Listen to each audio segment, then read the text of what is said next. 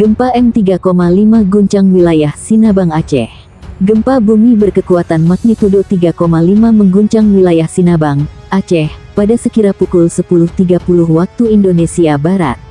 Berdasarkan informasi dari akun X atau Twitter Badan Meteorologi, Klimatologi, dan Geofisika, lokasi gempa berada di pukul 3 Lintang Utara 96.18 Bujur Timur. Gempa Mak 3.5 21 APR 2024 pukul 10.30, 06 WIB, log, pukul 3 Lu, 96.18 BT 62 km Barat Laut Sinabang Aceh, Kede Elemen, 14 km, tulis BMKG. Disclaimer informasi ini mengutamakan kecepatan, sehingga hasil pengolahan data belum stabil dan bisa berubah seiring kelengkapan data.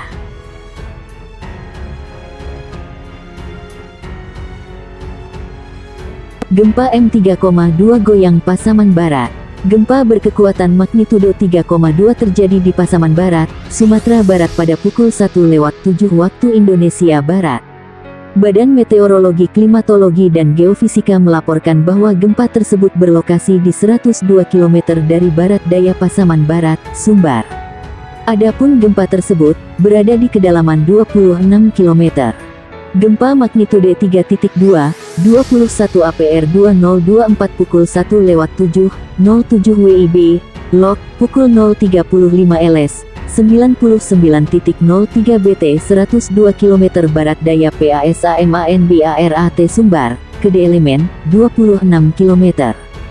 BMKG, demikian dikutip dari akun medsos Info BMKG. Belum diketahui dampak dari gempa tersebut. Namun, warga Pasaman Barat diminta untuk tetap waspada terhadap potensi gempa susulan. Disclaimer, informasi ini mengutamakan kecepatan, sehingga hasil pengolahan data belum stabil dan bisa berubah seiring kelengkapan data.